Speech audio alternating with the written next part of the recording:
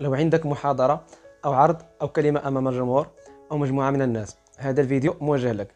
يعتبر التحدث أمام الجمهور إحدى المشكلات والصعوبات التي يعاني منها أغلب الأشخاص. ففن الإلقاء أو الخطابة أو التحدث أمام الجمهور هو امتلاك القدرة على التحدث بشكل جيد أمام الجمهور وإيصال الفكرة بشكل واضح وبدون خوف أو توتر أو ارتباك أو خجل.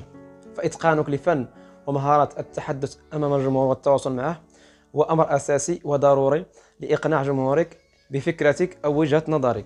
سأقدم لك خمس نصائح إن طبقتها. ستصبح متحدث بارع أمام الجمهور وبدون خوف أو خجل أو ارتباك. أول نصيحة هي الصمت. لا تتحدث فور إعطائك الكلمة.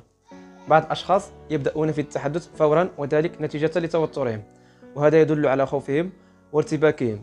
لكن بدل ذلك خذ نفسا عميقا وانتظر لبعض الثواني قبل البدء. فإذا كنت تلقي عرض مثلا شغل كل الأدوات المتعلقة بالعرض كالحاسوب والبويربوينت بهذه الطريقة ستربك جمهورك لأن الكل يكون منتظر منك أول كلمة أو جملة ستنطق بها. وما الموضوع الذي سوف تقدمه؟ ثانيا أهم شيء هي المقدمة. اصنع مقدمة خرافية وتدرب عليها بشكل جيد جدا في المنزل ثم القها أمام جمهورك بكل ثقة. بهذه الطريقة ستعطي انطباع أولي بأنك متمكن من الموضوع الذي ستقدمه.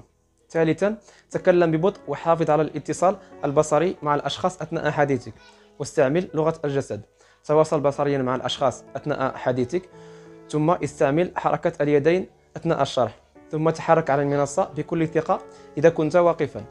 رابعا قم بتنسيق فقرات الموضوع الذي سوف تقدمه. مثلا إذا كان لديك عرض حول موضوع الاكتئاب سيكون تنسيق الفقرات على الشكل التالي.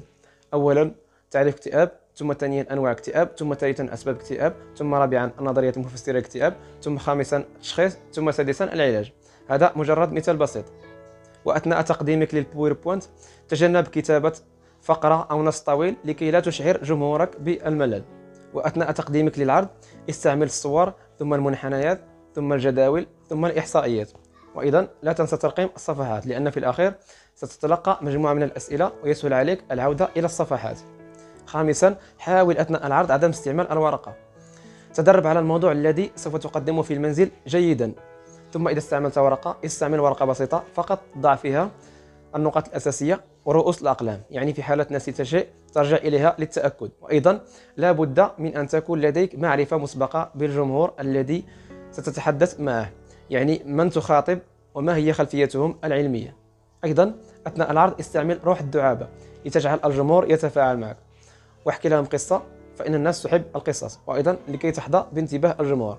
وصلنا إلى نهاية الفيديو. أتمنى أن تكونوا استفدتم. شكرا وإلى اللقاء.